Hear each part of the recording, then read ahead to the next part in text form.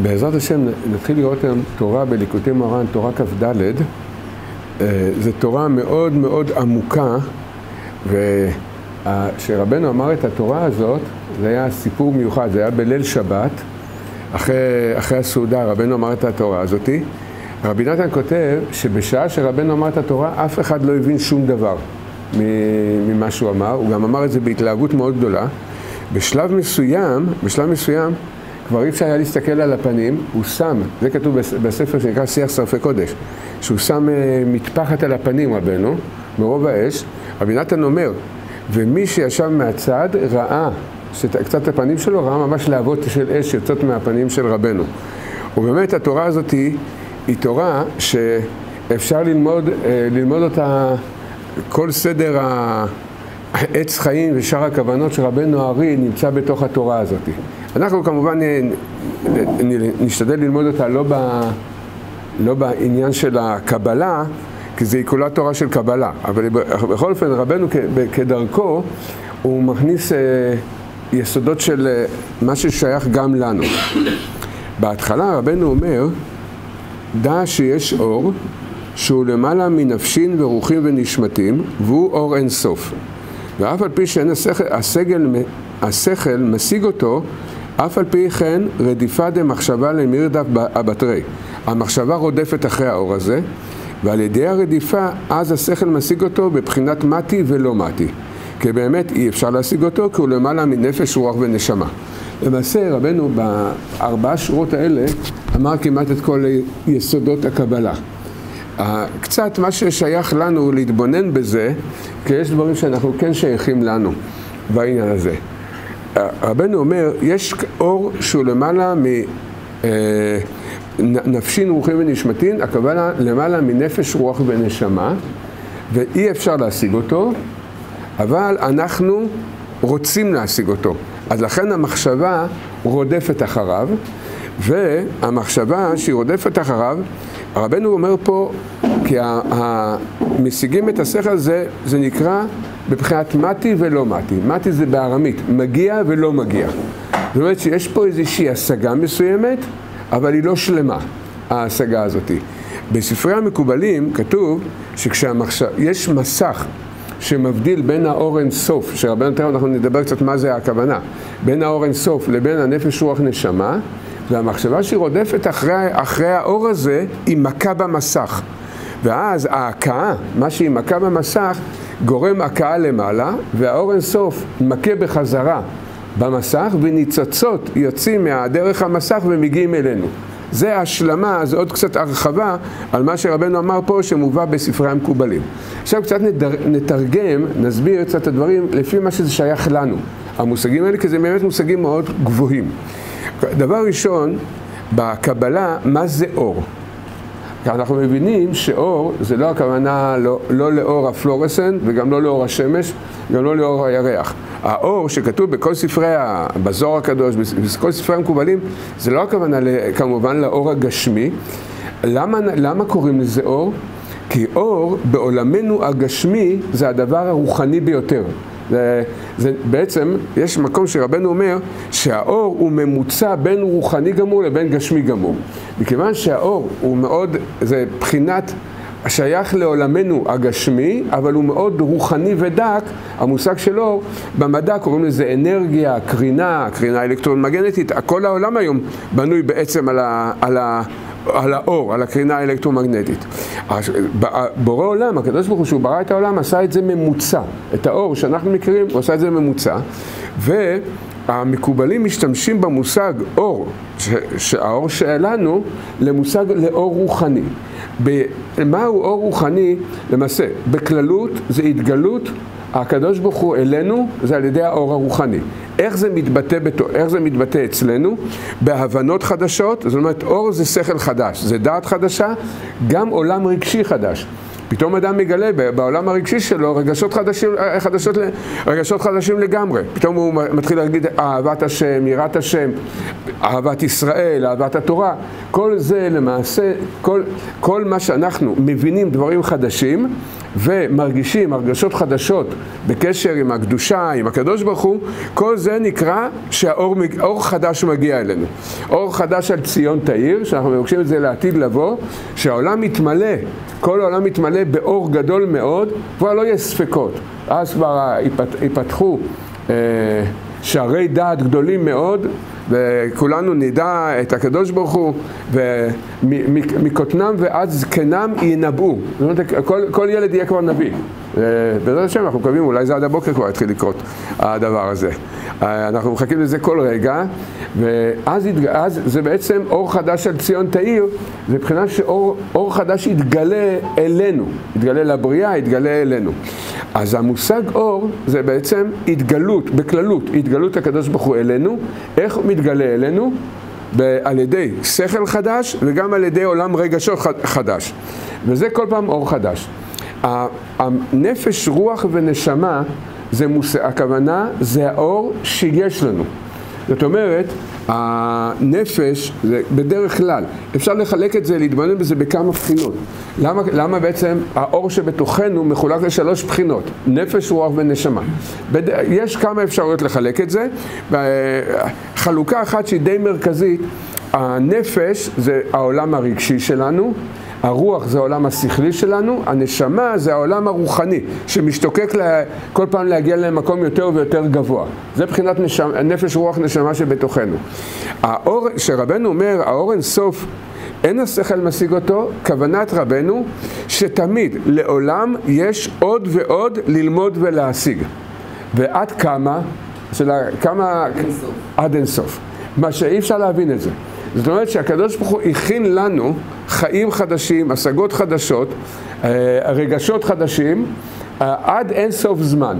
זה דבר שאדם לא יכול להבין את זה. לכן זה נקרא אור אין סוף. כי זה אין סוף זמן ואין סוף אור יש בדבר הזה.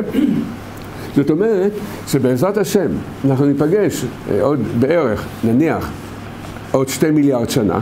אה, נלמד, מה שלומדים עכשיו נלמד גם, זה עם הבנה קצת יותר עמוקה, אחרי שתי מיליארד שנה, נקבל כבר שכל חדש, נבין את זה קצת יותר לעומק, ואז עוד יהיה דברים חדשים ללמוד, עוד שתי מיליארד שנה. אחר כך הפגישה אחרי זה תהיה אחרי 20 מיליארד שנה, ועוד יהיה לנו מה חדש ללמוד. עד אין סוף, מה שאי אפשר, האדם לא יכול להבין את הנקודה הזאת.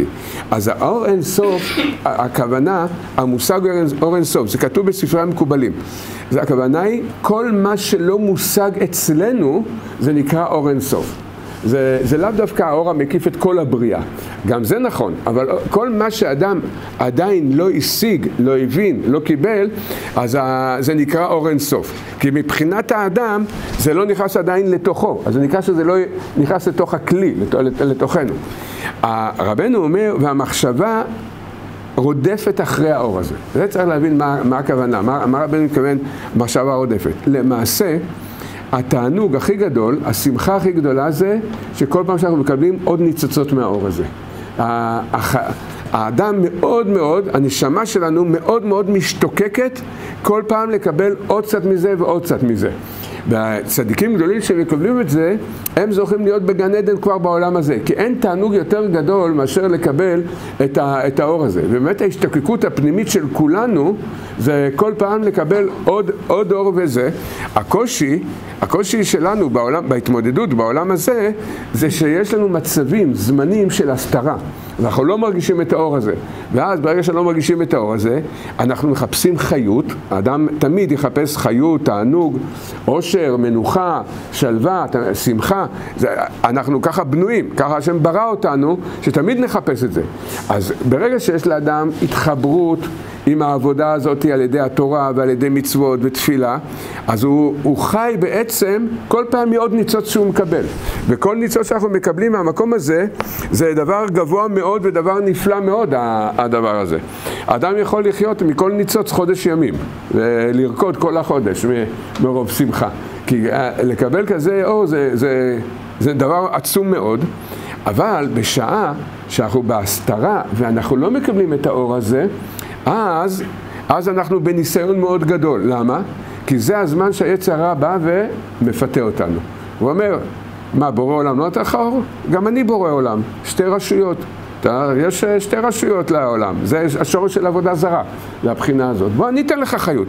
אתה לא מאמין? בוא תנסה. וזה, זה, זה, בוא איתי לאיזה מסיבה, אני אתן לך שם איזה אה, חומר טוב, ובוא תראה אם אתה לא מרגיש חיות, שמחה ואושר ותענוג. זה, הוא מפטר אותנו בעצם אה, בנקודה הזאת. ודאי שהעבודה שלנו, כמו שנראה בהמשך, כל העבודה שלנו זה לברר את נקודת האמת. כי, כי חיות שמקבלים ממנו, תמיד משלמים עליה. והוא לא יודע שיש איסור ריבית, אז הוא לוקח, עושה את זה בריבית גדולה. או הוא גובה את זה מאיתנו בריבית גדולה, את מה שאנחנו מקבלים ממנו. לכן, כשאדם מקבל חיות מהקדוש ברוך הוא, אז החיות הזאת תמיד בונה את האדם עוד ועוד. עד אין סוף, היא כל הזמן בונה את האדם. כשאדם מקבל חיות משם, הכתוב בזוהר הקדוש, זה הכל חורבן והרס. החיות שמקבלים שם, בהכרח. ב... לכן אנחנו רואים, בדור שלנו זה מלחמה מאוד חריפה. הדור שלנו, זה, זה נקרא סוד העקביים. הדור שלנו נלחם מאוד חזק על הנקודה מאיפה לקבל חיות. כל, כל, אני חושב שזה לא צריך להרחיב בזה, כולנו יודעים את זה, כולנו חווים את זה ומרגישים את הנקודה הזאת. לכן גם הטלטלות הנפשיות והרגשיות הן כל כך חזקות בדור הזה. כי מדוע? כי כל חיות שמקבלים ממנו, אחר כך צריך לדעת, צריך לשלם בריבית. אם אדם יש לו מספיק כסף שלם בריבית, יש לו מספיק כוחות נפש לסבול את הריביות שלו, אז uh, שינסה. אבל לא, לא מומלץ, זה לא מומלץ. אבל רק מה, ברגע שאנחנו בהסתרת פנים מאוד גדולה, אז מאוד קשה לעמוד בניסיון הזה, זה קשה, ובפרט שבכלל היו מצבים שאפילו בכלל לא ידענו, כל, אחד בכלל אפילו לא ידע מכל הסוד הזה, מכל המהלך הזה. אבל על כל פנים, עכשיו שיודעים, כי הקדוש ברוך הוא, הוא מזכה אותנו, הוא מזכה אותנו לדעת את כל המהלכים האלה. אפילו שטעינו הרבה שנים, כל אחד לפי בחינתו, אבל בסופו של דבר, הרחמנות של הקדוש ברוך הוא שהוא מזכה אותנו בשלב מסוים להתחיל להבין מה קורה פה. בהתחלה אדם באמת לא מבין מה קורה. זה אצל כל אחד זה קורה ככה, אבל, אבל לאט לאט, ובאמת, אם, אם נתבונן בזה, זה נס. זה ממש נס שהקדוש ברוך הוא מזכה אותנו להבין. זה לא בדרך טבעית, זה בדרך מאוד מאוד לא טבעית הדבר הזה. אז, אז אומר רבנו, לכן הרדיפה של המחשבה, הנשמה, כל הזמן משתוקקת להשיג את האור הזה. פה צריך לדעת, פה צריך לדעת שצריך גם לרדוף, לרצות, זה אמת, אבל גם צריך סבלנות. לא, לא לדחוק את השעה, בהמשך רבנו אומר את זה. לא לדחוק את השעה. מדוע? כי בעזרת השם, אחרי 120 שנה, אדם עולה למעלה, אז הוא יקבל את זה, בעזרת השם, בגן עדן אין שום בעיה, הוא יקבל את זה בלי חסרון. אבל עכשיו, בעולם הזה העבודה שלנו זה לרצות את זה, להשתדל בזה, לעשות כל מה שאנחנו יכולים לקבל את זה, אבל בד בבד גם צריך את מידת הסבלנות. זה צריך סבלנות, זאת אומרת, כן, יש לי עבודה בינתיים קצת להיות בחושך. עוד קצת חושך, עוד קצת מעברים, אבל בסך הכל תמיד לזכור שאנחנו בעצם בעבודה הזאת אנחנו מכינים את עצמנו למציאות נצחית. בסבלנות הזאת אנחנו מכינים את עצמנו בעצם למציאות נצחית. זה ניסיון מאוד גדול. בדורות שלנו גם יש את הניסיון הזה, אבל הוא בהיבט מסוים. אבל היו דורות שהכל היה יותר פתוח, העולם היה במקום יותר רוחני, לכן גם הניסיון של הסבלנות היה ניסיון מאוד מאוד קשה. זה לא היה פשוט אה, להסכים להיות עדיין בצמצום ובחושך. אנחנו גם גדלנו בתוך החושך, אז אנחנו כבר רגילים לכל הצמצומים ולכל מה שעובר עלינו. אבל ברגע שהיו דורות של נשמות מאוד גבוהות, שהיו באור גדול מאוד, ועם כל זה הם היו צריכים להיות צמצום. היה להם קשה, היה להם ניסיון מאוד מאוד קשה בדבר הזה. ומצד שני, היצר הרע בא ואומר להם, בוא תראה, אני נותן לך את החיות האלוקית, אני נותן לך. זה, זה, לא, זה, זה היה הדורות שהיה עבודה זרה בעולם. זה היה מאוד מאוד קשה, הניסיון הזה היה מאוד קשה. אבל על כל פנים, אצלנו, אנחנו צריכים לדעת, באמת לרצות את זה, ולרצות את הדבר הזה. יש בזה, פה נגיד קצת במאמר מוסגר, יש בזה יסודות מאוד גדולים בנקודה הזאת. שהמחשבה היא רודפת אחרי ה... המחשבה רודפת אחרי האור הזה, אבל יש מסך. המסך, יש מקומות שכתוב שזה מסך, ויש מקומות שקוראים לזה שם אחר, רקיע. זה מה שכתוב ביום שני לבריאת העולם, ויעש את הרקיע המבדיל בין מים למים, בין מים עליונים למים תחתונים. המים התחתונים זה מה שיש לנו, זה הנפש רוח נשמה, זה ההשגה, זה האור שיש לנו.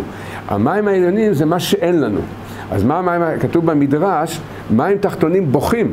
למה אנחנו כל כך רחוקים מהמים העליונים? אז מכים, כמו שגל של מים, לכן הגלים של המים רוצים לעלות למעלה. השורש של הרצון שלהם לעלות זה משמה, זה מהנקודה הזאת. כל מה שקורה בעולם זה משורש בעולם עליון. לכן הגלים, לפעמים יש סערה. לפעמים כשרואים שיש סערה בים, אז צריך לדעת, כי המים התחתונים רוצים לעלות למעלה. אבל תמיד הם מגיעים לאיזשהו מקום, ואז זה הרקיע, מבדיל בין מים למים. אי אפשר לעלות לשם. ובאמת, יש כזה מושג, בחז"ל מסבירים שיש כזה דבר שנקרא פלא. אנחנו אומרים את זה בברכת אשר יצר, ברוך אתה השם, אה, הופך כל בשר, הוא מפליא לעשות. מה, זה, מה הכוונה פלא? מפליא. מה זה הלשון פלא? הלשון פלא זה לשון, זה יסוד מאוד מאוד גדול, הדבר הזה. כל דבר שאנחנו חושבים, אנחנו תמיד חושבים, יש לנו כללים, למחשבה שלנו יש כללים. מאיפה הכללים של המחשבה? ככה השם ברא אותנו, עם כללים במחשבה. לכן, כל דבר שאנחנו מסתכלים עליו, אנחנו מיד, מכללי המחשבה. יש התחלה, אמצע וסוף. זאת אומרת, כל דבר זה תהליך, תהליך שמתחיל בנקודה מסוימת ונגמר בנקודה מסוימת. זה דבר אחד. דבר נוסף, כל דבר יש לו סיבה ומסובב. זאת אומרת ככה, אם אנחנו נראה כדור אה, מתגלגל על, ה, על הכביש, אנחנו לא רואים אף אחד, אנחנו רואים את הכדור מתגלגל. מה כל אחד מאיתנו יבין מיד? מישהו גלגל אותו. לא משנה איך, אבל ודאי שיש פה מישהו גלגל אותו, הוא לא יתגלגל מעצמו. למה? כי כל דבר במחשבה שלנו מיד אנחנו חושבים בצורה של סיבה ותוצאה של הסיבה. זה, זה, כל, זה כל דבר בחיים. אה, זה. אם אנחנו, אנחנו רק לא רגילים לחשוב, להתבונן בזה, אבל האדם, קורה איזה מאורע בעולם, אחת השאלות הראשונות ששואלים, מי עשה את המאורע הזאת? למה זה קרה המאורע הזה? מי, מישהו עשה פה. אם אנחנו עושים לב, יש איזה קושי כלכלי, ישר מתחילים לחשוב מה הסיבות שגרמו לקושי הכלכלי. יש מלחמה בעולם, מה הסיבות שגרמו למלחמה. כל דבר, בעצם אנחנו חושבים ככה. למה? כי ככה השם אה, ברא לנו את כוח המחשבה, עם סיבה ומסובב.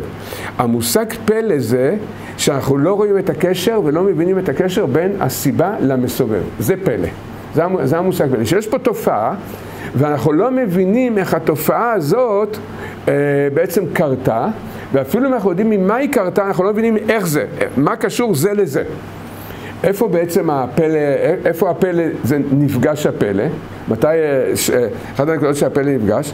כאשר הרוחני והגשמי, איך הרוחני יכול להשפיע על הגשמי, זה פלא. כי ת, תמיד כל מדרגה רוחנית היא בעצם לא קשורה עם החומר. ופתאום היא כן פועלת על החומר. זה, זה, הנקודה, זה הנקודה של הפלא, איפה ההתחברות? ההתחברות של הרוחני עם הגשמי זה פלא, לכן אנחנו רואים את זה בברכת אשר יצא, שזה ברכת הרפואה, אומרים, ברוך אתה השם, רופא כל בשר ומפליא לעשות. למה, למה הרפואה היא פלא? כי שורש הרפואה זה שהנשמה והגוף נמצאים ב... בהתאמה, בתיאום אחד עם השני. כן, מה שהנשמה צריכה את הגוף לפעול, אז עכשיו הגוף פועל וכן הלאה. לכן כל רפואה זה בעצם לרפות את החיבור בין הנשמה לגוף, וזה פלא. לעשות את החיבור הזה אי אפשר להבין. בין שני גופים אנחנו מבינים, בין שתי דברים רוחניים אנחנו יכולים להבין. בין רוחני לגשמי אי אפשר להבין את זה. בדרך אגב, הזכרנו כמה פעמים את זה. אמונה, לא? מה? אמונה. כן, אז אנחנו מאמינים שהקדוש ברוך הוא עושה את זה ויכול לעשות את זה, כן, בהחלט. באחד הדברים, הזכרנו את זה כמה פעמים, זו שאלה שלפני כמה ימים ראיתי, דווקא בספרים שלנו זה כתוב. אחת השאלות הכי גדולות ששואלים היום זה מה הגודל, מה הגודל של היקום? אז יש כל מיני, יש כל מיני תוצאות, יש כל מיני סברות. אה, זה מסתובב עכשיו, הסברה החדשה זה בערך 13 מיליארד שנות אור. אה, זה לא, זה לא קרוב, 13 מיליארד שנות אור. זה די רחוק. 13 מיליארד שנות אור. רק סתם להבין מה זה שנת אור, שנבין מה זה 13 מיליארד שנות אור. שנת אור אפשר להבין. אה, אפשר, למה לא? למה? לא, זה- אפשר זה- להשיג בשכל. לא, זה די קרוב. שנת אור זה די קרוב. זה, זה עשר ביליון אה, קילומטר. מה זה ביליון קילומטר? ביליון, ביליון זה אלף מיליארד. אז זאת אומרת, זה, זה עשרת אלפים מיליארד קילומטר, זה שנת אור אחד. את זה תכפיל ב-13 מיליארד, את התוצאה הזאת. זה כרגע הערכה שזה גבול היקום. עכשיו, מה, מה כל המ- המחשבה, המדענים, מה בעצם הם שואלים, איזה שאלה מיד מתעוררת? בסדר, נניח שזה נכון, למרות שזה אי אפשר לדעת. זה הרבה סברות אה, תיאורטיות יש פה, אבל בוא נגיד שזה נכון, לא משנה. מה, מה השאלה שמיד מתעוררת? מה? מה, קורה אחרי? יש את מה, מה, קורה, מה קורה אחרי זה? אחרי זה יש הגנוז. אז אה, מה, מה אה, נחדד את הנקודה. מה בעצם, הם, לא- מה, מה בעצם השאלה? מאחורי זה, זה, זה הרוחני. איך הרוחני מתחבר עם הגשמי, אי אפשר להבין את זה. לכן השאלה מה יש אחרי זה, זה לא שאלה באמת. זה, אם כבר רוצים לעסוק בשאלה הזאת, אז צריך ללמוד עץ חיים, שאר הכוונות, ולראות איך הרוחני והגשמי אה, מתחברים ביחד. זו השאלה מה יש אחרי זה. אז זה לא שאלה גשמית מה יש אחרי זה. כי, למה?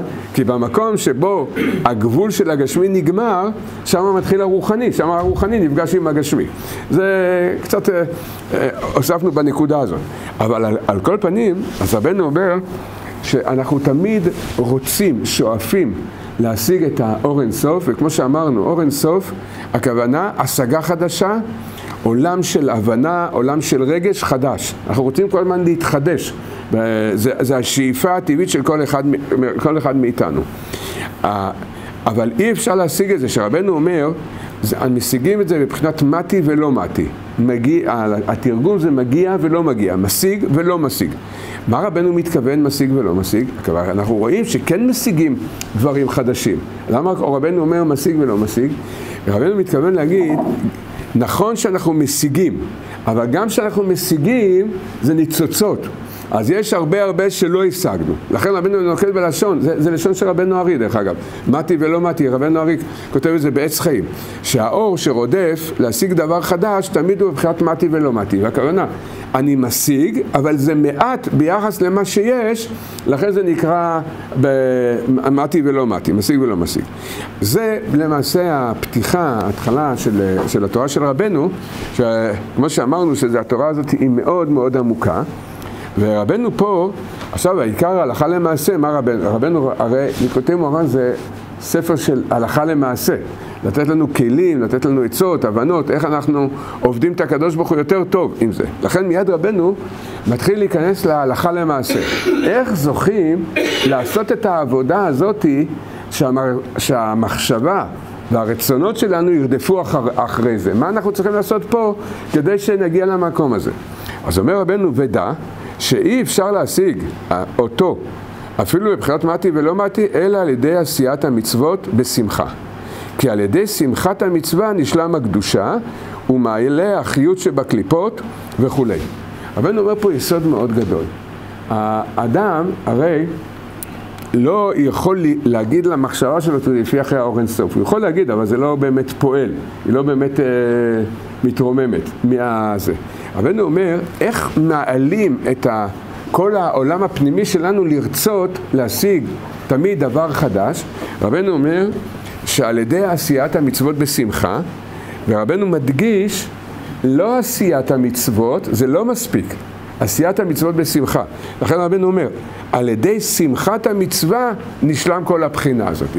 פה, פה צריך קצת, קצת להתבונן בנקודה הזאת, שרבנו אומר שעל ידי עשיית המצוות, השמחה שבמצוות, משיגים את זה. ודבר ראשון, זה דבר מאוד מעניין, שידוע, זה כתוב בספר שבחי רבנו הארי, שידוע שרבנו הארי מהצדיקים שהשיגו את האור הגנוז מיחידי יחידי הדורות, מה שהוא השיג, רבנו הארי הקדוש. ושאלו אותו, מה עשית, מה עשית ש, שזכית לכזאת בחינה? אז רבנו הארי אמר שתי תשובות. תשובה אחת הוא אמר, הקפדתי לכוון בברכות הנהנים. אמר, היה חשוב לי לברך שהכל נהיה בדברו בכוונה. וזה זה דבר אחד. דבר שני, רבנו אמר, רבינו אמר, וזה העיקר, הוא אמר על ידי שמחתי במצוות. זה, זאת אומרת, כל ההשגות שהוא זכה להשיג, זה היה על ידי בחינת השמחה, שהוא, שהוא זכה לשמוח במצוות. לפני כמה, אולי שבוע שעבר הזכרנו את זה, ששואלים, יש שאלה, תמיד שואלים אותה, חתן בר מצווה, באותו רגע שהוא נהיה מחויב במצוות, הרי יש דקה, אותה דקה, שתי שניות לפני הדקה הזאת הוא לא היה מחויב במצוות. עוד שתי שניות הוא מחויב מדאורייתא. חל פה דבר לא, לא פשוט. כל העולם הפנימי שלו השתנה לגמרי. קטן פטור ממצוות. ולפתע עובר להיות מחויב במצוות. כל העולם משתנה. אז שואלים, איזה מצווה ראשונה יקיים החתן בר מצווה באותו רגע שהוא מחויב במצוות? אז רוב המפרשים אומרים, מכיוון שזה בצאת הכוכבים של אותו יום של הבר מצווה, מיד יגיד קריאת שמע. אה, כמו כתוב, ממתי קוראים את שמע בערבית? שכהנים יחסים תורתם, הקמלה מצאת הכוכבים. אז מיד יקיים מצוות קריאת שמע. החתם סופר כותב דבר מאוד מעניין. החתם סופר אומר שהמצווה הראשונה שהוא יקיים, שהוא הוא שמח שהוא נהיה מחויב במצוות. אומר החתם סופר, וזה מצווה דאורייתא. אחר כך שיקרא קריאת שמע, אבל קודם כל תהיה שמח. הדבר הראשון, להיות יהודי זה להיות, אה, זה להיות, אה, להיות שמח. מהי השמחה בעצם? מהי השמחה? השמחה זה בעצם, היא נול, היא מתגלית, היא נולדת בתוכנו מהתבוננות. באופן טבעי, אז, אז אנחנו לא זוכים להתבוננות הזאת. צריך להתבונן בדבר הזה, שזה לא מובן מאליו שזכינו להיות יהודים, העם הנבחר, שהקדוש ברוך הוא מכל הבריאה, לא מכל אומות העולם, מכל הבריאה כולה. כל הבריאה כולה נבראה בשבילנו. בשביל כל יהודי נבראה כל הבריאה, וכל הבריאה כולה. זאת אומרת, כל העולמות, כל המלאכים, כל הגן עדן, התחתון, הכל, כל התורה, הכל, הכל נברא בשביל כל, בשביל כל יהודי. זה לא, זה לא מובן מאליו הדבר הזה. הקדוש ברוך הוא יכל לברוא את הבן אדם אה, גוי. יש, יש חסידי אומות העולם, יש להם גם בחירה, הם יכולים גם להיות, בה, יש להם מקום, לגויים יש מקום, אה, אם הם אה, חסידי אומות העולם, אז הם זוכים להיות בגן עדן, הם יזכו גם לחיי נצח. אבל אין שום שיעור ומקום להשוות בין המעלה של יהודי גם לגוי שהוא צדיק. אין בכלל, מה, אין בכלל שום דמיון לדבר הזה. מה זה, איזה מתנה הקדוש ברוך הוא נתן לנו? נשמה, נשמה אלוקית. זה כל, כך, זה כל כך גבוה, מעל גבוה, הדבר, הדבר הזה, ולמעשה, בכל מצווה, בכל תנועה, בכל עבודה שאנחנו עושים לכבוד השם, אנחנו זוכים בזה לאין סוף, אין סוף שכר, של נצח נצחים. והייתי בעל הסולם, בתחילת הפירוש שלו על התלמוד עשר ספירות זה נקרא, הוא אומר שאחד התמיהות הכי גדולות בבריאה זה איך אדם ב-70 שנה בעולם הזה זוכה להשיג שכר של נצח נצחים. הוא אומר, זה רק לעתיד לבוא אנחנו נבין איך 70 שנה בעצם יכולים, זה, איפה שמענו בעולם כזה? בן אדם, זה כמו שבן אדם אומרים, אומרים לבן אדם, תראה, יש פה עלה, יש לי פה ביד עלה, אתה יכול להעביר אותו עשרה סנטימטר? אומר, כן. הוא אומר, אני אשלם לך על זה. זה בסדר, לא, לא יודע, זה עבודה קלה, לא, אני נותן לך מיליארד דולר, רק תעביר את העלה מהיד שלי לעשרה סנטימטר לך מיליארד דולר. היחס, איזה, איזה, מין, איזה מין יחס בין עבודה לשכר. השכר שאנחנו מקבלים, הפער בין מה שאנחנו עושים לבין השכר שאנחנו מקבלים עוד הרבה יותר גדול מזה. פי אין סוף יותר גדול מזה. אי אפשר, אי אפשר להבין את זה. וכל זה בעצם, הקדוש ברוך הוא בחר, בחר בנו. זה יסוד גדול מאוד לעניין של שמחה. זה יסוד מאוד גדול של שמחה. דבר נוסף, לבנות בתוכנו את העניין של השמחה, זה, זה כמו שאמרנו, ההתבוננות, ההבנה, היא מולידה את השמחה בתוכנו. היא מולידה את השמחה. אז אמרנו, יסוד ראשון זה לדעת שזה לא מובן מאליו, זה לא פשוט שזכינו להיות יהודים. התקרבנו לצדיק, אנחנו זוכים להניח תפילין, אנחנו זוכים להתפלל, להגיד קריאת שמע, זוכים ללמוד תורה. זה, כל זה, צריך לדעת, זה, זה מתנת חינם שהקדוש ברוך הוא מזכה אותנו. בדבר הזה. זה דבר אחד. דבר נוסף, שהוא מאוד מאוד חשוב, זה לדעת את גודל החשיבות שיש לקדוש ברוך הוא על כל תנועה שאדם עושה בעולם הזה לכבוד השם. כי, למה? כי לנו זה נראה מובן מאליו. אדם שרגיל ללכת להתפלל בבוקר שחרית, או רגיל להניח תפילין, אז זה כבר התרגל. אז זה מובן מאליו שהוא עושה את זה. זה לא מובן, זאת אומרת, צריך לדעת. והקדוש ברוך הוא, חשוב לו כל תנועה שאנחנו עושים, יש לו חשיבות אינסופית לכל תנועה שיהודי עושה בעולם הזה. למה? מה הסיבה? השרפים, המלאכים, משבחים אותו. אם אנחנו היינו שומעים שירת המלאכים, אתם יודעים מה היה קורה לנו? הנשמה הייתה פורחת למעלה, כמו שכתוב, שסנחריב בא עם 180 אלף גייסות, יש אומרים שזה היה כמה מיליונים, לצור על ירושלים, והקדוש ברוך הוא אמר, זהו, אני אבטל אותם. מה הוא עשה? טוב, חיילים סנחריב, מה, מסכנים, המלך אמר להם ללכת, הם חייבים ללכת. מה, מה זה? הקדוש ברוך הוא אמר, טוב, להציל את ירושלים חייבים. מה נעשה עם, עם איזה, בערך היה שם, יש אומרים שהיה שם כמה עשרות מיליונים, אפילו יותר, של חיילים, כן? 180 אלף גייסות. אז. לא עשה הקדוש ברוך הוא, פתח חלון, למעלה, ברקיע פתח חלון, הם שמעו בחצות לילה, הם שמעו את שירת המלאכים, כולם מתו, כל הנשמות של כל הגויים האלה רצו למעלה לשמוע את שירת המלאכים. כי אדם שומע את שירת המלאכים, הוא לא, הוא לא מוכן אה, להישאר בעולם הזה. זה לא, זה, זה מה שקרה במתן תורה, שקדוש ברוך הוא אמר, אנוכי השם אלוקיך, נפתחו הריקים, ואז הנשמות הרגישו מה זה למעלה. נשמות ישראל, למה עם ישראל מת במתן תורה? כי הנשמות לא הסכימו להיות בתוך הגוף, ככה אומר הנועם אלימלך. אז זה, אז זה שירת המלאכים. וצריך לדעת שתנועה של יהודי בעולם הזה לכבוד השם יותר גדולה מכל שירת המלאכים. כמו שאור החיים הקדוש כותב בפרשת קורח. וזה עליון וחשוק אצל הבורא למעלה מן הכל, תנועה אחת שיהודי עושה. על כל פסיעה, על כל פסיעה שבן אדם עושה לבית כנסת, לבית מדרש, למצווה, זה לא המצווה עצמה, זה, זאת אומרת, זה לא נגמר. סופרים כל מצווה ומצווה. מי שפעם ראה, היה איזה, לפני כמה שנים, היה סרטון שנקרא אה, חותם אמת. זה יהודי, מכירים אותו. הוא עבר... מוות קליני? כן, עבר מוות קליני, והוא היה, הוא לא היה שומע תורה ומצוות. אה. והיה לו מצווה, אז אה, פעם איזה קרוב משפחה שלו אה, לקח אותו אה, אה, פעם בשנה, פעמיים בשנה, הוא היה הולך לכמה קברים, הוא היה רוחץ את הקברים האלה. אז הוא מספר שהוא הגיע למעלה, קודם כל הוא סיפר שהבן איש חי היה הדיין שלו, והם הם, הם, הם, הם רצו, הם רצו, רוצים לזכות את האדם למעלה, הבית דין של מעלה רוצה לזכות את האדם, אבל יש חוק, למעלה באמת יש חוק.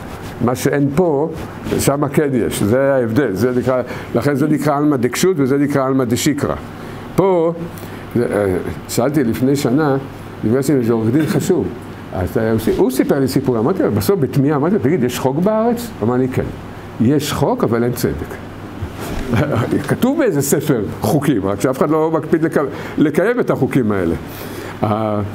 אז זו הגדרה, הגדרה מדויקת של עורך דין פלילי חשוב. אז, אז, אבל למעלה זה אמת, אז סופרים. אז הוא סיפר, זה שהיה, אה, עבר את כל הנקודה הזאת, אז הוא מספר שהבן איש חי ספר את הפסיעות שהוא עשה ללכת לרחוץ את הקברים. כי זה בגלל שזה עושה נחת רוח לנפטרים, זה נקרא מצווה, והבן איש חי, כל, כל, כל פסיעה ופסיעה, הוא ספר לו כל פסיעה ופסיעה, ולקח את זה לטובתו. אבל בסוף זה לא עזר. זה לא עזר, והם אמרו לו, הם אמרו, עם הכל, פסקו דינו לגיהנום. אה, זה. לא, זה לא עזר הדבר הזה. זה פלא מה שהוא מספר. בסיפור, פתאום הופיעה בבית דין של מעלה בחורה, בחורה צעירה שנפטרה כבר. אה, זה, והיא אמרה, הוא, ככה היא אמרה להם, לבית דין של מעלה, אמרה, וכי קל בעיניכם שהוא, אה, זה, הפיץ חמישה, אה, חמישים ספרים השתפכות הנפש לעילוי נשמתי, וכי קל בעיניכם הדבר הזה? מיד יצא בת קול בבית דין של מעלה ואמרו, תחזירו אותו לחיים. על חמישים ספרים של השתפכות הנפש, החזירו, החזירו אותו. מה, מה, זה, מה, מה זה דבר, לכאורה, ואדם עשה את החמישים ספרים, הרי אחרי, אחרי יום הוא שוכח מזה בכלל, הוא לא זוכר את זה. אבל למעלה, כל דבר טוב, אה, כל דבר טוב אה, זוכרים.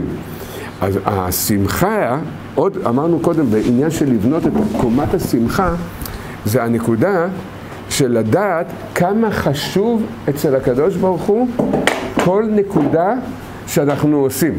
כי דרכו של היצר הרע להסתיר מאיתנו בהרגשה, בהבנה, את החשיבות של מה שאנחנו עושים, ואז מה הוא לוקח? איזה אדם, אדם עשה טעות. אדם, יכול להיות שיש מצב, אדם עד תשע בבוקר כבר עשה שלושים מצוות ועשה טעות אחת. אולי, ב, ב, אולי במידות, אולי לא דיבר יפה, אולי למשל בלשון הרע, אי אפשר לדעת, יש מספיק דברים להיכשל בהם. מה היצר עושה? שלושים, שלושים דברים טובים שהוא עשה, מחק את זה, מחק, הכניס את זה מתחת לאיזה, זה, כאילו זה לא קיים, זה לא שווה. אבל זה שעשית דבר לא טוב, או, או, כמה גיהנום מחכה לך, וזה נקרא, מה שעכשיו אמרנו, אני, אני יודע שלא קראתם את הספר הזה, אני אגיד לכם באיפה זה כתוב. תורה א' בליקוטי ס"מ. בליקוטי ס"מ כתוב, מה שאתה עושה לא שווה, כל עבירה, יש לך, מאה, מאה, על כל עבירה יש לך מאה שנים בגיהנום. זה, זה התורה א' בליקוטי ס"מ. להכביד, אי אפשר להתחבר עם נקודת השמחה רק על ידי זה שאנחנו מתחזקים באמונה ומבינים ומאמינים שהקדוש ברוך הוא שמח בכל תנועה שלנו. ולמה? מה הסיבה? כמו שאמרנו בשם אור החיים הקדוש פרשת קורח, הוא אומר ש, שהתפילה של יהודי בעולם הזה זה עליון וחשוק אצל הבורא למעלה מן הכל. מחמת, ככה לשון של החיים הקדוש, מחמת שהבשר, זה הגוף, מונעם מלהכירו, היצר הרע, הגוף מונע אותנו מלהכיר אותו, ואנו מתעצמים באהבתו, וזה עליון וחשוק אצל הבורא למעלה מן הכל. ככה הלשון של אור הקדוש. אז צריך לדעת, זה כל תנועה שאנחנו עושים. אי אפשר להיות בשמחה אם לא נעריך את הדברים האלה. זה, עכשיו אדם צריך להתחזק בשמחה מתוך יראת העודש. זה, דבר נוסף, רבי נתן כותב, יש שיחה ידועה של רבי נתן, שהוא כותב במכתב, הוא כותב לתלמידים שלו, הוא אמר, להם, הוא אמר לתלמידים שלו, הוא אומר להם, מעיד אני עליי, אני לא זוכר בדיוק את הלשון, מה הוא מעיד, שאם אתם תהיו בשמחה, לא תראו פני גיהנום. כמה חשוב לקדוש ברוך הוא שנזכה להיות בשמחה בעולם הזה. אז למעשה, זה שתי נקודות מאוד יסודיות בעניין של בניין השמחה. זה כמו שאמרנו, זה שאדם מתבונן איזה זכות זה שאנחנו יהודים וזוכים לשמור תורה ומצוות. דבר שני, זה כל הזמן לזכור כמה חשוב אצל הקדוש ברוך הוא כל דבר טוב שאנחנו עושים. כמה גדול הדבר הזה אצל הקדוש ברוך הוא. מה? אז לפני... אז, אז צריך לעשות על זה ממש תפילה והתבודדות ולבקש מהקדוש ברוך הוא, קודם כל שתדע, אתה לא יחיד בזה. זה, ממש יש ניסיון בזה. יש, יש ניסיון בזה, וצריך להתפלל ממש בקביעות, להתפלל בקביעות. הקדוש ברוך הוא, תזכה אותי לה, לה, להרגיש את שתי הנקודות האלה. וכל עוד אדם לא מרגיש, שכל יום מתפלל על זה. כי זה, למעשה כל הקומה, כל הקומה של האדם, כל העבודה הרוחנית שלו נבנית על שתי הנקודות האלה. כי הרי אמרנו בשם רבנו הארי, ורבנו אומר פה, שכל ההשגות, כל המדרגות, אדם משיג על ידי שמחת המצווה.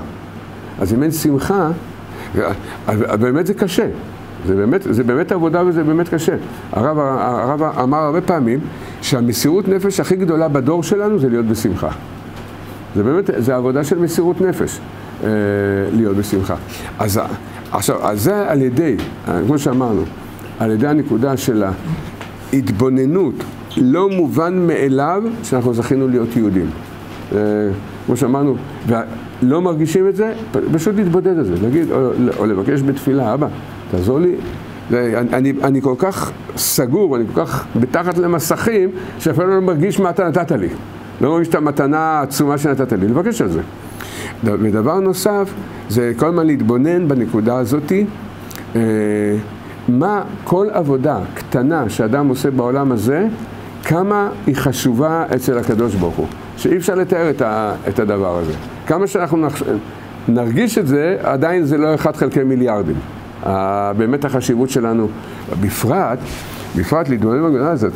אדם מתרגל לעולם הזה, שיגעונות העולם הזה. יש, ברור השם, בדור שלנו, למה קוראים למדיה מדיה? על שם המדמה. כמה דמיונות יש בדור שלנו. כל אפליקציה זה עוד עולם דמיוני יורד לעולם. אז בסדר, נכנסנו לתוך הדמיונות האלה, גדלנו בתוך הדמיונות האלה, אה, היינו מכורים לדמיונות האלה, והזריקו לנו לתוך הוורידים אה, את כל הדמיונות.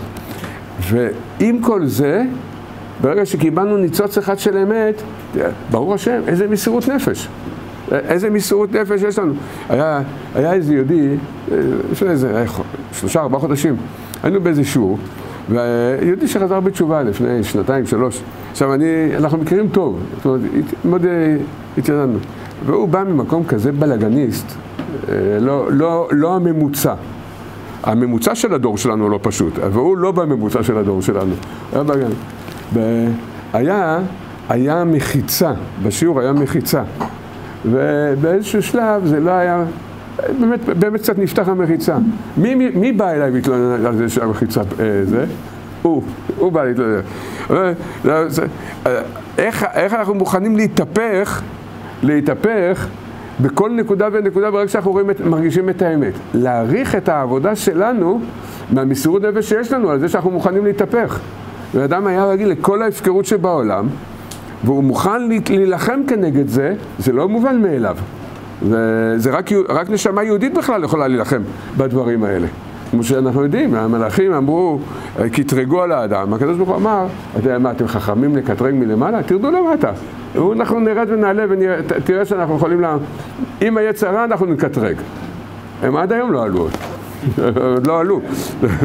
כתוב, כתוב, יש מדרש שאומר, הם היו באוויר, הם עוד לא, הם היו באוויר, קרוב לקרקע, באוויר הם ראו בחורה, ירדו לקרקע ותבעו אותה לדבר עבירה. זה, זה המלאכים הידועים. אז היא אמרה להם, כתוב במדרש, אז היא אמרה להם, אני מוכנה, רק תלמדו אותי שם קדוש לפרוח באוויר. היא ראתה שמדובר פה במלאכים. לימדו את השם קדוש, פרחה באוויר וברכה להם. אה, אני לא זוכר, אבל אני אגיד לך, אפשר למצוא את זה אה, לפי, לפי המילה, אם למישהו שיש תוכנה, אסתהר. למה אסתהר? כי כתוב שהקדוש ברוך הוא, בגלל שהיא ברחה מהם, אז הקדוש ברוך הוא אה, זיכה אותה להיות כוכב. אבל היא הייתה מעוברת, וגם באו אנשים ענקים ממנו. לא, לא, לא, לא.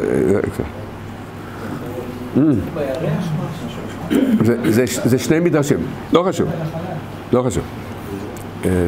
אז, אז הבן אומר, אז הבן אומר שלמעשה באמת המדרגה הגבוהה ביותר שאדם יכול להשיג בעבודה הפנימית שלו, שהמחשבה רודפת אחרי האור אינסוף. שכל פעם אדם רוצה להשיג עוד ועוד.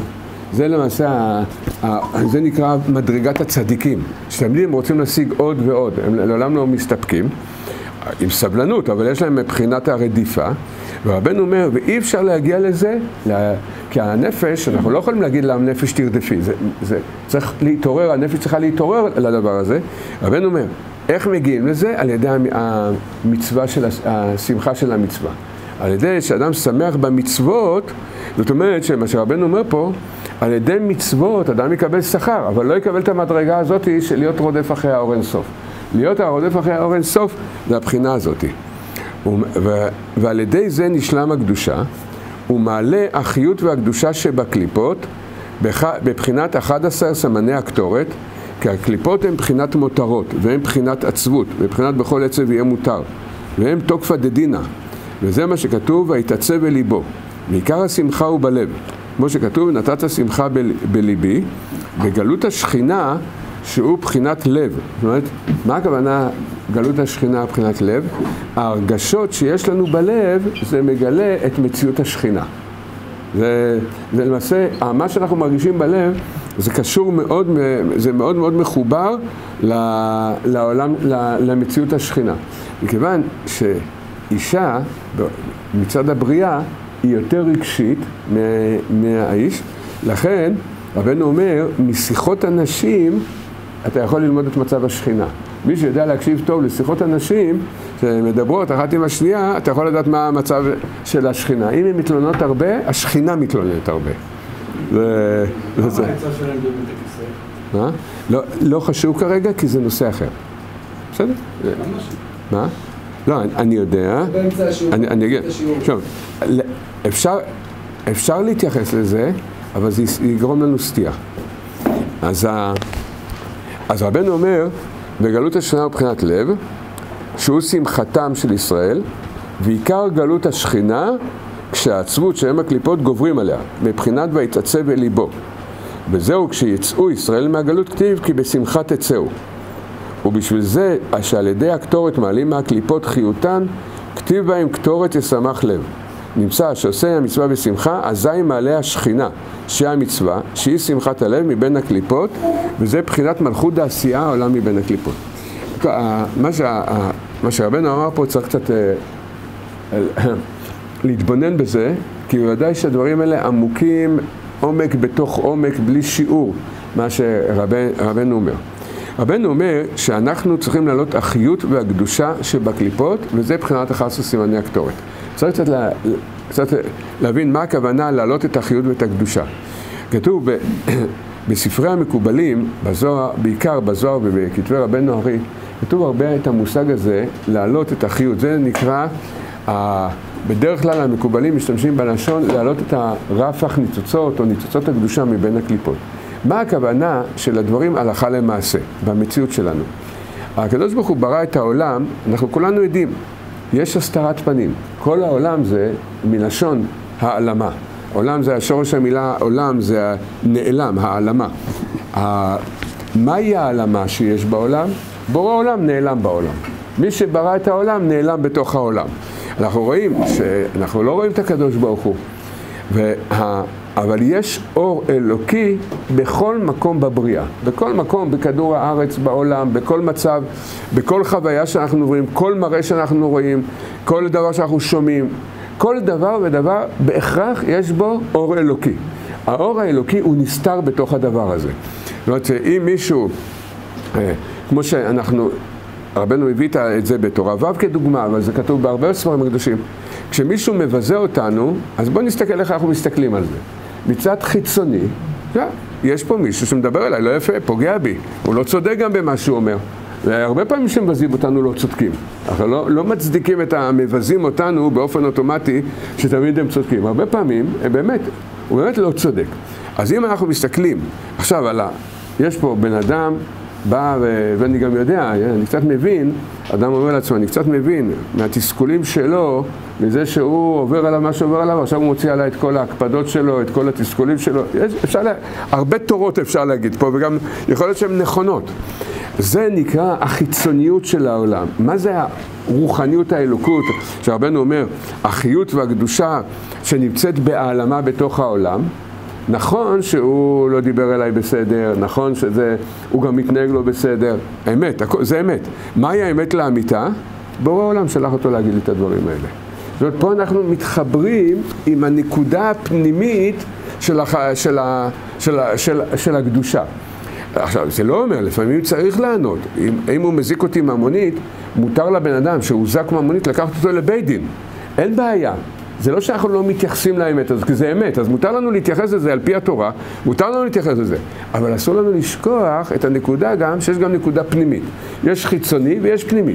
אם צריך לקחת אותו לבית דין, לפעמים הגמרא אומרת, כל גברא אלים, לפעמים צריך לתת לו מכות, לקחנו ממנו, הוא, הוא גנב איזה חפץ ממני ואני יודע שהוא גנב, ראיתי שהוא גנב, הוא אומר, לא גנבתי.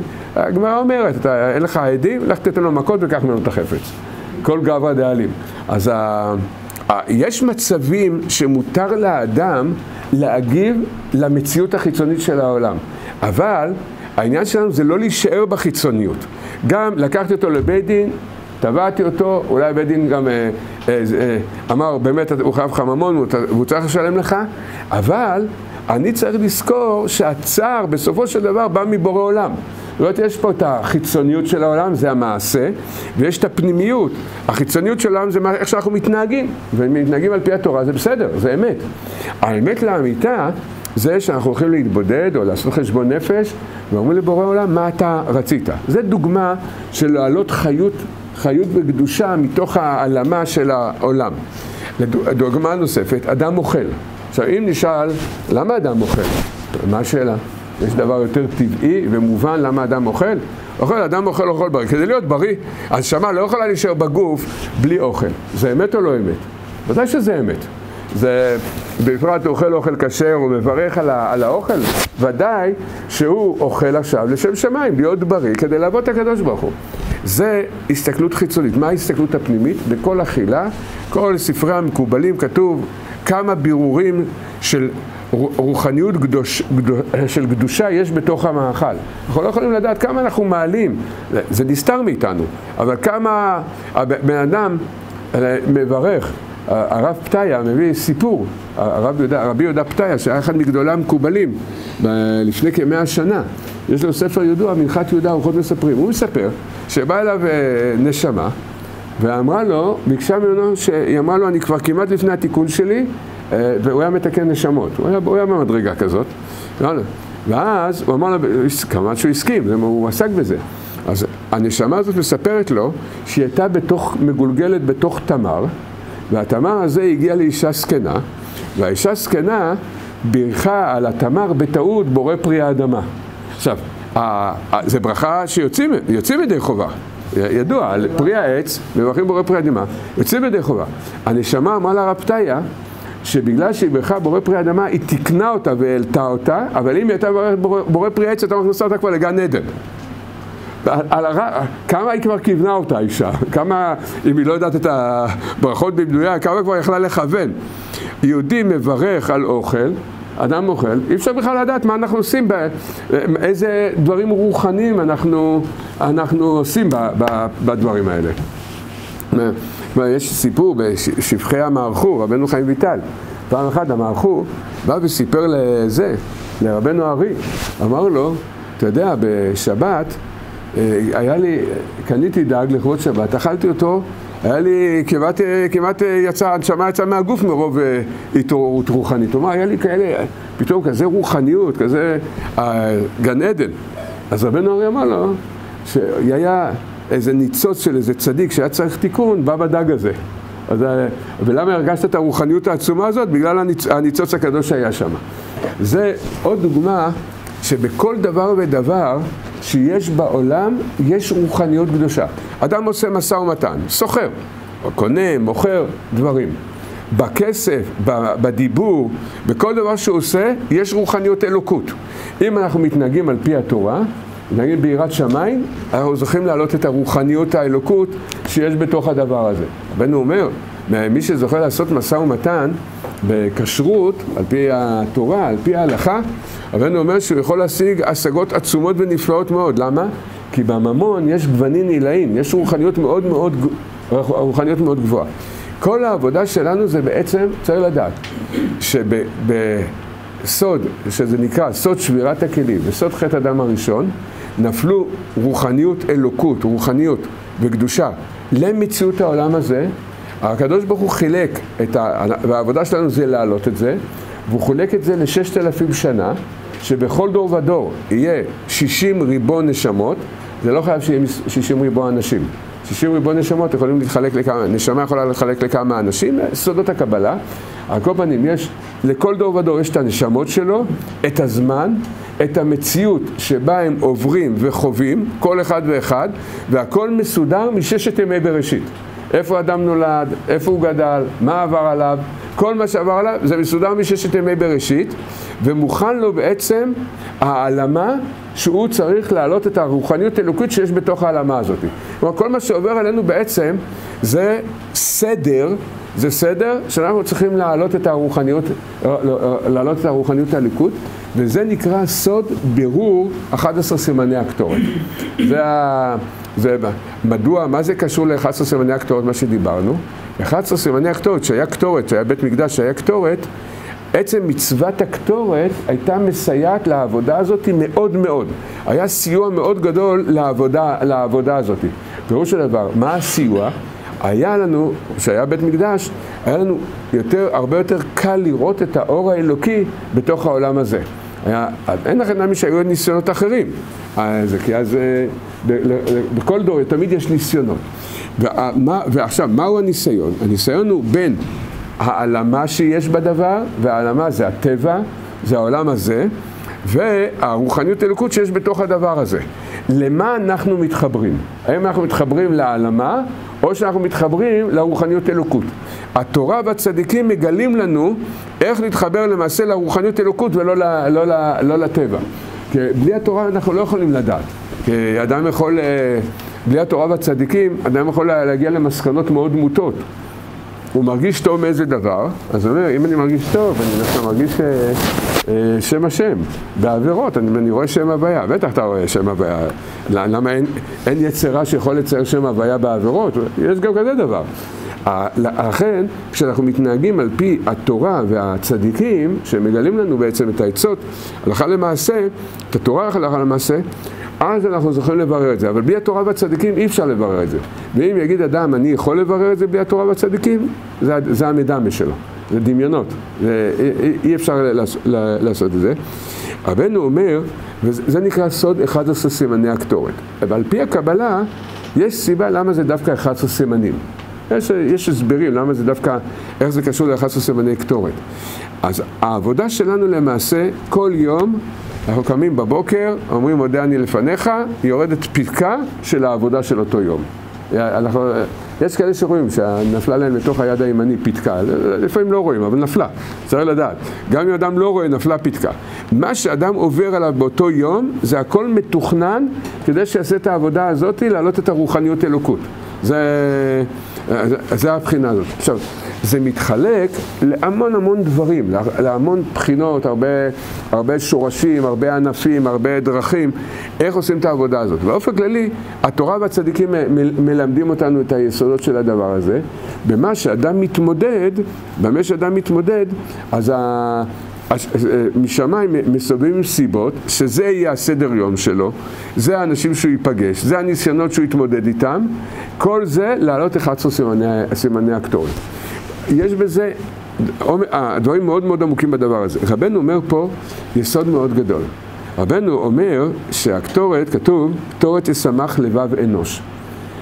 מה הכוונה הקטורת ישמח לבב אנוש? מקטירים בבית המקדש קטורת. למה זה ישמח לבב אנוש? למה אנחנו שמחים בזה? מכיוון שבשעה שאדם עוסק בעבודה הזאת, זו עבודה לפעמים קשה, לפעמים זה דורש מאדם התמודדות קשה. הוא הולך ברחוב, בפרט שהוא לא כל כך היה רגיל אה, להיות הבטלר העיוור עד גיל מסוים, והרבה פעמים הוא היה בדיוק הפוך מהבטלר העיוור. הוא חשב שזה, הוא חייב למסור דין וחשבון על כל מי שהולך ברחוב. כל רחוב הוא חייב למסור דין. בסוף הרחוב מחכה מישהו שימסור לו דין וחשבון מי הלך ברחוב. לכן הוא הקפיד מאוד להסתכל. הוא פחד שאולי יעלישו אותו, שהוא לא יסתכל מספיק טוב. אז, ופתאום אומרים לבן אדם, יש סוד. בעצם התיקון זה להיות הבדלר העיוור. כמובן שמירת עיניים, שמירת המחשבה. לכל אחד זה קשה, בפרט מי שהורגל שלא לשמור את העיניים, בוודאי זה קשה. אבל צריך לדעת, בכל כל פעם שאדם מוריד את העיניים, כל פעם שאדם מתחזק בשמירת עיניים, בכל, בכל בחינה. לפעמים הבחינה שאדם לא יכול להוריד את העיניים, הוא אומר לקדוש ברוך הוא בלב, השם, תעזור לי לשמור את העיניים. ת, ת, תעזור לי בנקודה הזאת. כל התחזקות בשמירת עיניים מעלה בירורים. הרחוב מלא בירורים. איך, איך מעלים את הבירורים? לא על ידי שמסתכלים, על ידי שלא מסתכלים. כי הפיתוי פה הוא מאוד מאוד אה, ידוע, הוא לא, לא פשוט. כל שמירת עיניים, כשאדם שומר ברחוב, הוא מעלה את הניצוצות שיש באותו זה. פעם הרב אמר, לאוטובוס, ושומר את העיניים באוטובוס, כל האוטובוס יקבל אה, הרהורי תשובה. למה?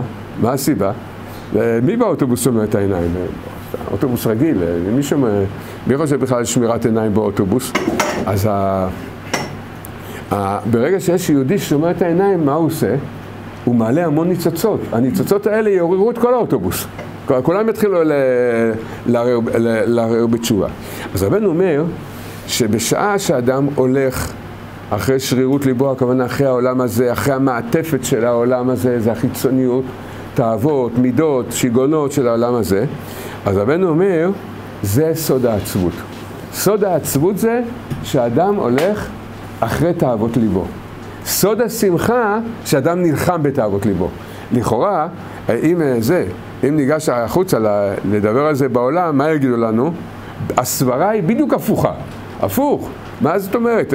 אם, אם אתה אומר לי שאם יש פה איזה חוויה, אה, זה לא שעכשיו אני הופך את העולם. איזה זה חומר אה, קטן, הכדור קטן, מסיבה גדולה, קצת, קצת להסתכל וזה, לרקוד קצת, מה, מה, מה יכול להיות יותר טוב מזה? זה השמחה. אומר רבנו, זה העצבות.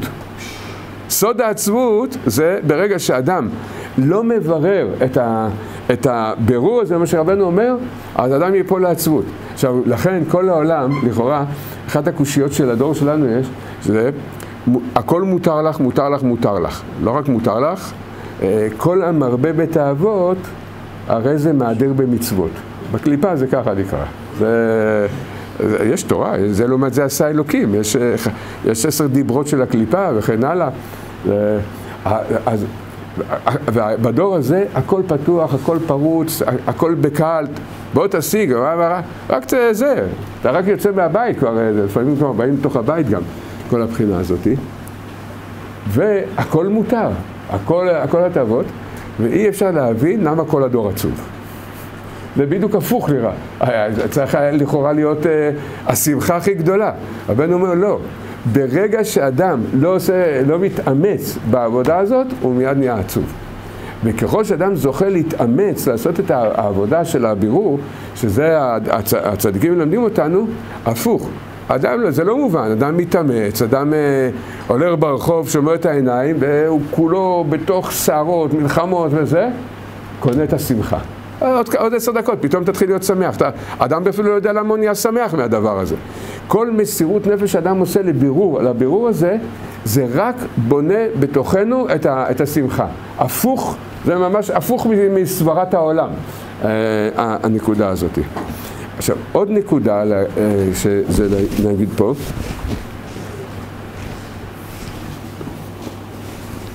שגם יש קשר בין הניצוצות הקדושה שצריך להעלות אותם, לבין גודל העלמה ששורה עליהם.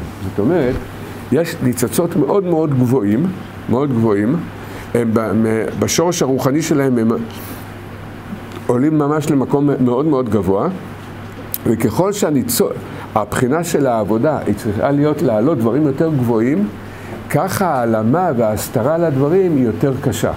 זאת אומרת שהמלחמה וההתמודדות שאדם יצטרך לעבור, היא תהיה הרבה הרבה יותר קשה, בגלל גודל הניצוץ. כי יש כלל, זה כתוב בספרי המקובלים, שככל שהרוחניות והאור האלוקי של הבחינה של הניצוץ הקדוש היא יותר גבוהה, יותר קליפות באות על הניצוץ הזה, ואז מי שצריך לברר ניצוצות ורוחניות מאוד גבוהה, הוא מאוד מאוד יסבול בעולם הזה. יעבור הרבה צער בעולם הזה, למה? כי הקליפות לא מוכנות לוותר, העלמה לא מוכנה לוותר, יש שם כוחות, יש שם, זה התמודדות, אה, זה, רק השם לא יעזבנו ביד, בידם. הקדוש ברוך הוא תמיד שומר עלינו שלא ניפול חס ושלום בידם, אבל מה שכן, האדם עובר, האדם יעבור הרבה צער. וצריך לדעת שסיבת הצער זה גודל הניצוצות שאדם צריך לעלות מה, מה, מהבחינה הזאת. ואין, רבנו ארי כותב, ואין דור כמו הדור שלנו, שזה נקרא דור העקביים, שהניצוצות נפלו כל כך למטה, וכל כך הרבה יצר רע אוחז בהם, וכל זה למה? מכיוון שהם כל כך גבוהים. בגלל שהם כל כך גבוהים, לכן אחיזת הקליפה עליהם היא עצומה, וזה גורם לנו הרבה פעמים הרבה מאוד צער. הרבה הרבה צער, זה דבר אחד. מלחמה, מלחמה מאוד גדולה, וגם בגלל זה גם הרבה נפילות. זו הסיבה שגם אה, אה, הרבה פעמים אדם נופל. בדור שלנו, זה, נפילה זה לא חייב להיות בעבירה, זה יכול להיות גם בעבירות, אבל זה יכול להיות במחשבה, בדיבור, ברצון. פתאום אדם לא, הוא לא מבין. אה, הוא היה עכשיו זה, הוא היה במדרגת שיביתי השם לנגדי תמיד. וזה עיר, עיר. הוא ראה את האותיות של השם, השם מעיר. עשר דקות אחרי זה, הוא מתקשר, מישהו, מישהו מתקשר אליו ושואל אותו, אתה, אתה יכול לבוא להיות אדמו"ר בתאילנד? חסר. עכשיו, אתה קיבלת מוחין, היית במדרגה של שיביתי השם לנגדי תמיד. עכשיו, יש לך כלים להעיר לכל תאילנד, תאוות. הפלא הוא שהכל מס, מתהפך בכזה מהירות שהאדם, לפעמים אנחנו נחלשים מהדבר הזה. איך רגע אחד אנחנו בכזאת קדושה, רגע אחד אנחנו בכזה, מה הסיבה? הסיבה שלפני הגאולה, מצד אחד מבררים ניצוצות מאוד מאוד גבוהים, מאוד גבוהים. שאדם מרגיש את ה... שאדם קצת קילף זה, זכה להרגיש את הרוחניות של הניצוץ, הוא בגן עדן באותו רגע, הוא במדרגה רוחנית מאוד גבוהה. מה הבעיה? עוד עשר דקות, יש לך עבודה חדשה, עוד ניצוץ. לא באת להתבטל בעולם הזה, באת לעשות את הבירורים. עוד עשר דקות, זה עוד ניצוץ. עכשיו, יש מצבים שהעבודה כבר כל כך קשה לאדם, שאין מציאות שהאדם לא ייכשל. עכשיו, כישלון, זה לא חייב להיות דווקא עבירה. יכול להיות עבירה, אבל יכול להיות דיבור לא מתאים, מחשבה לא טובה, רצון לא טוב, אה, וזה, או מצד תאוות, או לפעמים כבר עובר על האדם כאלה כבדויות בלב, שאדם מתחיל להתמרמר על הקדוש ברוך הוא. וזה גם בחינה של, אה, של הבירור. לכן, הדור שלנו נקרא בר נפלי.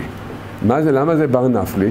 בגלל שבר נפלי זה בין הנפילות, שזה נאמר הגמרא בסנהדרין, ואומרת את זה על המשיח, שהמשיח נקרא בר נפלי. כל הדור, אנחנו דור, דורו של משיח, אז הנפילות עוברות על כל הדור. עכשיו, זה, מה עומק הסיבה שעוברים את הבחינה של הבר נפלי?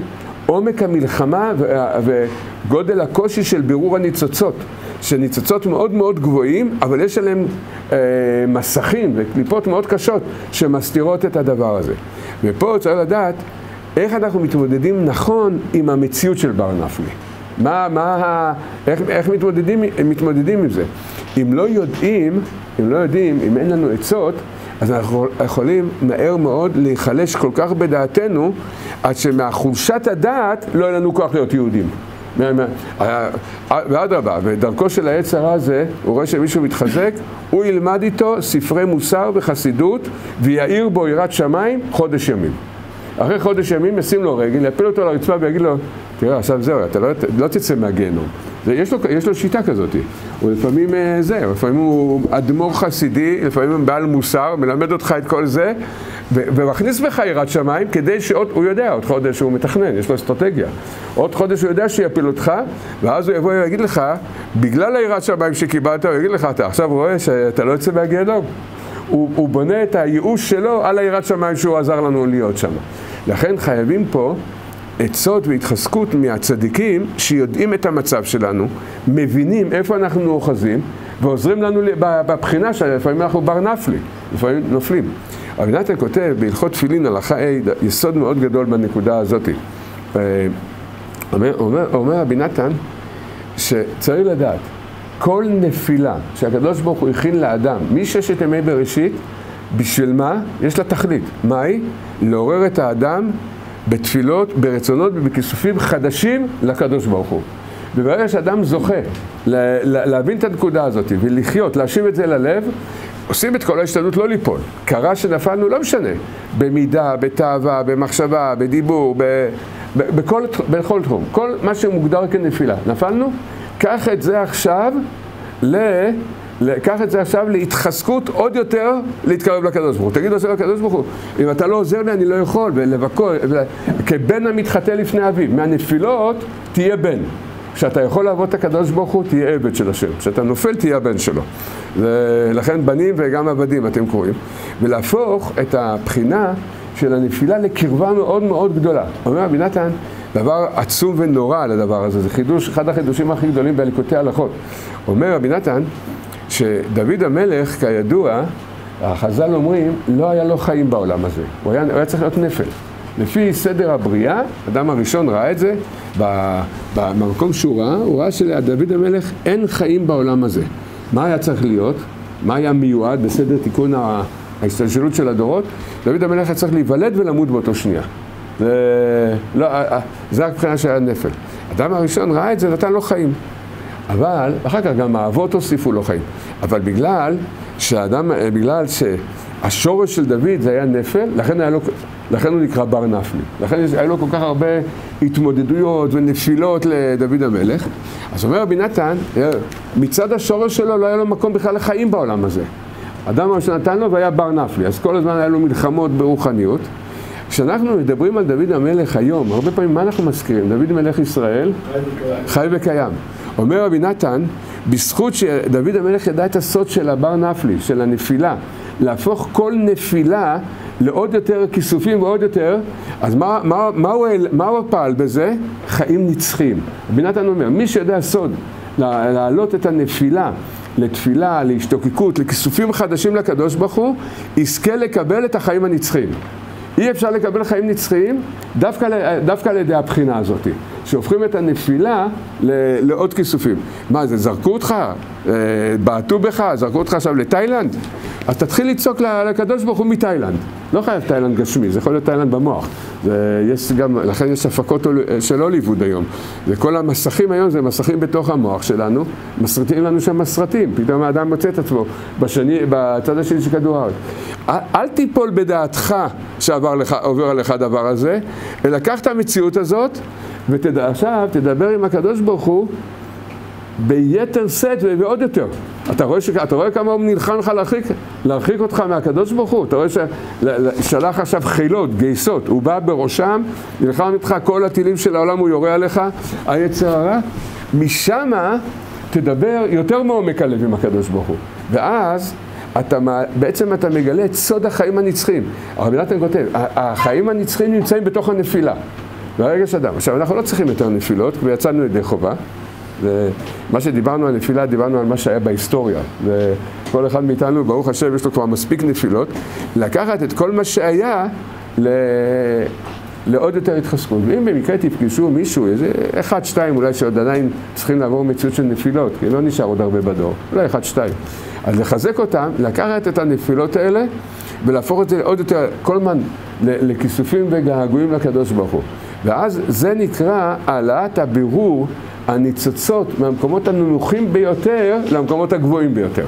מתכלית הירידה לתכלית העלייה. זה, בדוד המלך כתוב בספר שמואל ב',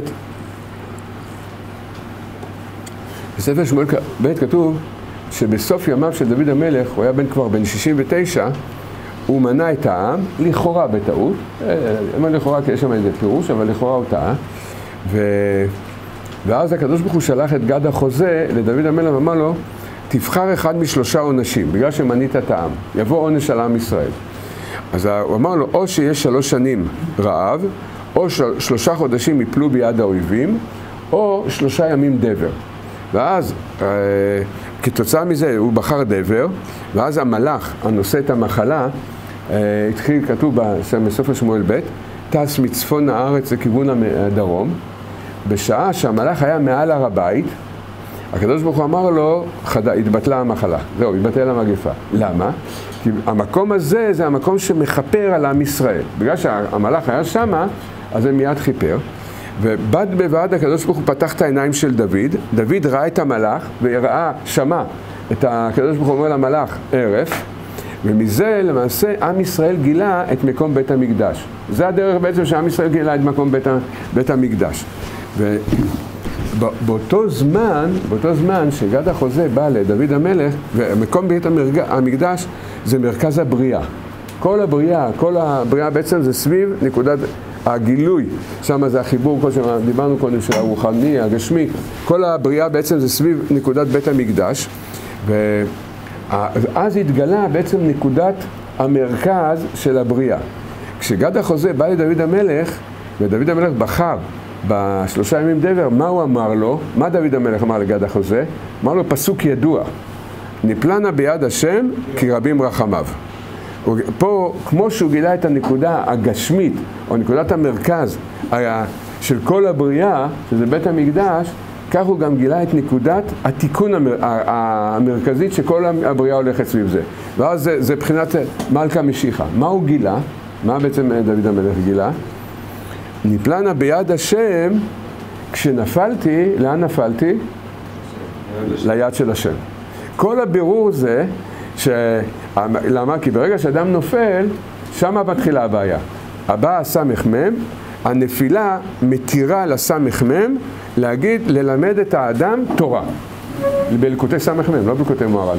מה כתוב בתורה הזאתי? נפלת לידיים שלי, ובפשטות אין תקווה. ובוא נגיד, אולי אם תתאמץ, יכול להיות אחרי 900 שנה בגיהנום ועוד 300, 350 שנה בכף הקלע, אולי אה, ייתנו לך איזה בוטקה בכניסה לגן עדן. אולי אה, זה, גם לא ברור אם בפנים או בחוץ, אבל תהיה קרוב. זה, זה כתוב בליקוטי סמ"ם. ואז הוא אומר לאדם, אתה בידיים שלי. אתה, אתה נמצא בידיים שלי. הצדיק האמת, שזה מבחינת מלכה משיחה, מה הוא מגלה לנו? מה דוד המלך אומר? נפלנה, תדע לך, נפלת? לאן נפלת? נפלנה ביד השם. כל נפילה של יהודי, נפלת על הידיים של, השם, של הקדוש ברוך הוא. מה זה אומר שנפלתי על הידיים שלי? של, של הקדוש ברוך הוא? מה זה נקרא נפלתי על הידיים של הקדוש ברוך הוא? כי רבו רחמיו. שם מתרבים הרחמים. אם תדע את הסוד הזה, ותבוא משם כבן, ותגיד לקדוש ברוך הוא, תראה, העץ הרע נלחם בי ומרחיק אותי, והוא לא רוצה שאני אקרוב אליך, אבל אני רוצה אותך. מה, אני רוצה את העץ הרע, איזה, את השטויות שלו, את הדמיונות שלו? אני רוצה את זה. ואז האדם מאמין, עכשיו אני בידיים של הקדוש ברוך הוא, לא בידיים של הסמ"ם, חס ושלום. אין מציאות שאדם בידיים של הסמ"ם. זה, זה מדמה, זה בירור המדמה. ברגע שאדם אומר, אני בוודאי בידיים של הקדוש ברוך הוא, באותו רגע שהוא אומר את זה, מה קורה? כי רבו רחמיו. ואז מתגלים עוד ועוד רחמים חדשים, וזה מבחינת החיים הנצחיים, לכן דוד המלך מנפל שלא היה לו זמן להיות בעולם הזה, אז אנחנו אומרים, עליו אנחנו אומרים, על מי שלא היה לו זמן לחיות, ורק החי, נותנים לו מתנה, אז הוא, הכל זה מתנה אצלו, אז רק, ב-70 שנה רק רודפים אחריו, ומשגעים אותו בלי זה, והוא הפך את הכל לשירות ותשבחות, לצעקות, לקדוש ברוך הוא, זכה להיות בבחינת הצדיק שנאמן עליו, דוד מלך, דוד מלך ישראל חי וקיים.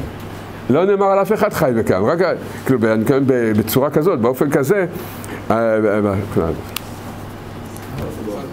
להקדשת השיעורים של הרב להצלחה, לזיווג, שלום בית, רפואה, לעילוי נשמת.